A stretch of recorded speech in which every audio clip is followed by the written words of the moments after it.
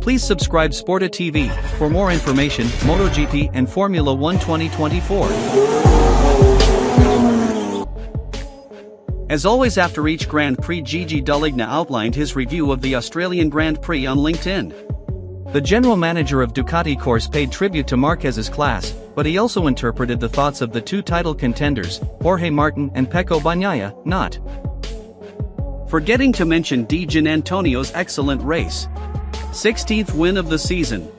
Six of our bikes in the top six positions, another historic first to celebrate together. Another wonderful opportunity to thank all those who make up the great Ducati Corse family. An awesome Marc Marquez bags his third 2024 success to reaffirm, as if needed, that he is very much there, back at the top of MotoGP. And he does it in his inimitable way following an unbelievable comeback that took him immediately, and with disarming authority, close to the leaders and then on to the nail-biting duel with Martin. A true masterpiece on a track most congenial to him. He went wild, as he does when he can scent victory, sparing himself nothing. Irrepressible. But the true measure of his strength, his specific weight, is all in his having immediately recovered from a very unlucky start, imposing himself over everything and everyone as the winner takes all. Even over a Martin who, truth be told, had undoubtedly more to lose than Marquez. Still, Jorge tried to prevail, with great merit but not at all costs.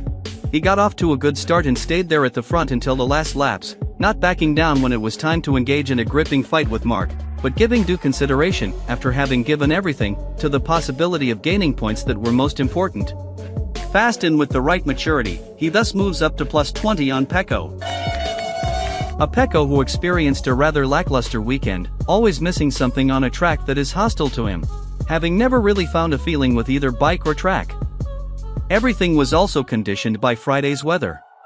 Conditions that prevented him from carrying out tests that had been planned to optimize setup on a track characterized by new tarmac, and to metabolize the automatisms he needs to best express himself. He raced defensively putting his all into it, fighting with the leaders as long as he could and then gradually losing ground, especially in the last part of the race.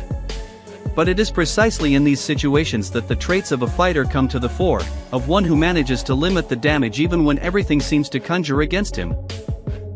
He did very well, seizing an important podium, even though more could really not have been done today, he still wanted to have his say, he was there with the front runners ready to challenge for it. Special kudos to Diggia's great race, may it also bode well for what he has to face. An excellent performance, starting from the 12th grid position, he closed with a promising 4th place. In the leading group of contenders, fast and tenacious, with a better qualification, who can say? I remember him here last year with his first podium in Premier Class. Just enough time to muse on the race in Australia, and it's already time to think of the Thai tarmac, another page to be written, anticipating a finale to be savored. With three rounds left in the 2024 MotoGP season, Jorge Martin leads Pecco Bagnaia by 20 points in the standings after the Australian Grand Prix. Bagnaia has won more races than Martin on Sundays, with eight victories putting the former on a par with the likes of Marc Marquez, Valentino Rossi and Jorge Lorenzo for achieving something similar in a single season. Martin has only won three Grands Prix, and yet is 20 points clear in the championship. A big factor behind this is the 7 DNFs that Bagnaia has registered in the 2024 campaign. Pecco is no stranger to overcoming a high rate of non-scores to win titles. In 2022, he came from 91 points back at the halfway mark to beat a struggling Fabio Quartararo on the Yamaha having suffered 5 non-scores.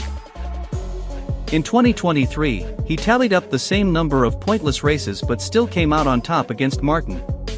7 is a new high for Bagnaia and it's come against a rival in Martin whose consistency has propped up relatively slender haul of 3 GP wins. Both riders have 6 sprint wins between them in 2024, while Martin has taken 13 podiums on Saturdays. Bagnaia's 8 wins on a Sunday is a stunning mark relative to 3 for Martin, but both are level on 13 podiums in total each. Martin has had 4 non-scores in 2024, albeit 2 have come while leading Grands Prix in a third when he was leading the sprint in Indonesia. Unforced errors or Alex Marquez's fault? After finishing a distant third at the Australian GP, Bagnaia commented on the up and down nature of his championship and highlighted his Aragon tangle with Alex Marquez as being the incident that is hanging heavy over his tilt right now. We are continuing recovering, losing, recovering, losing. Our performance is fairly balanced, he said.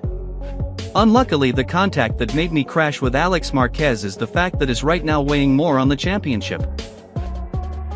That incident came as the pair were debating third place, with Bagnaia the quicker of the two and with time enough left to get a move safely done.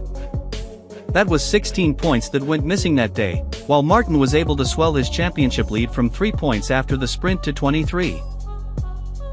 Had Bagnaia finished in third, the gap between them would have been 7. Certainly, it was a costly tangle. But is it really the incident holding Bagnaia back? Just two rounds later Bagnaia would suffer another non-score. Having won the Emilia-Romagna GP sprint to reduce Martin's lead to 4 points, he crashed while trying to make up ground in third after an odd tire issue dropped him out of the victory fight in the first half of the Grand Prix. Had he just banked third place, Bagnaia would have left Misano 8 points behind Martin instead of 24. At Indonesia, with Martin only scoring 25 points for his Grand Prix win and Bagnaia taking 28 for the weekend, the gap between them would be just 5. And after a clean sweep in Japan, with Martin scoring 26, Bagnaia would take a 6-point lead in the standings. With Martin outscoring Bagnaia by 10 points in Indonesia, he'd retake the lead in the championship by only by 4 points instead of 20.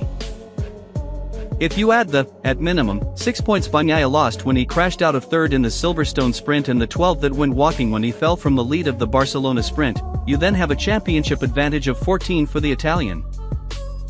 The Alex Marquez collision at Aragon proved contentious at the time, with Bagnaia initially saying the Gresini rider deliberately crashed with him.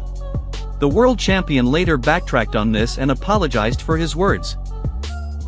And while there is no doubt that the points lost there have had an effect on his championship hopes, it's not the incident that has done the most damage to his points situation.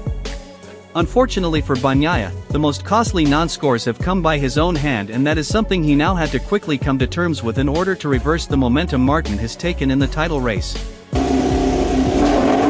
Honda will reportedly bring in Castrol when they split from Repsol next season. Motorsport report that Honda are nearing the significant sponsorship deal. Castrol will not be a title sponsor in 2025, however. Castrol, a British oil company, is already a partner of the LCR Honda MotoGP team. This alliance will remain into 2025. Honda will lose Repsol, a Spanish oil company, as their title sponsor at the end of this season. It will bring a 30-year partnership to an end, and signal the end of an incredible period of success.